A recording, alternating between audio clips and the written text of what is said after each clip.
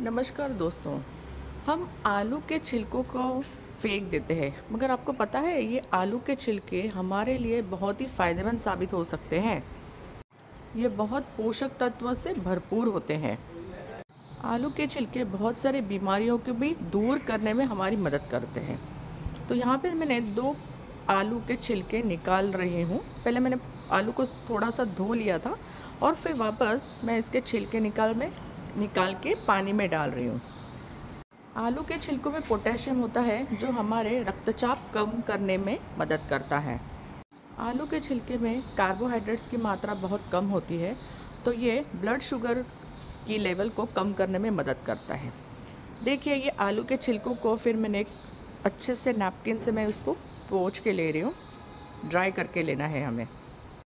आलू के छिलकों में विटामिन सी और आयरन होता है, जो एनीमिया के मरीज़ों के लिए बहुत ही फ़ायदेमंद साबित हो सकता है।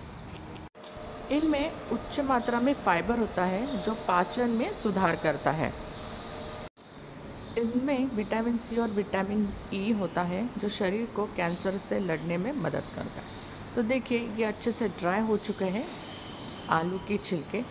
अब इसमें मैं कॉर्नफ्लावर दो चम्मच डाल रही हूँ।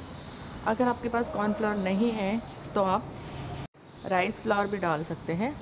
इसके बाद मैंने दो चम्मच रेड चिली पाउडर डाल दिया है और आधा चम्मच चाट मसाला डाल रही सिर्फ़ तीन ही मसाले इसमें पड़ गए हैं और स्वादानुसार नमक डाल दीजिए। अब इसको थोड़ा सा बाइंडिंग करने के लिए मैं थोड़ा तेल डाल रही हूँ। एक चम्मच मैंने तेल डाल दिया है।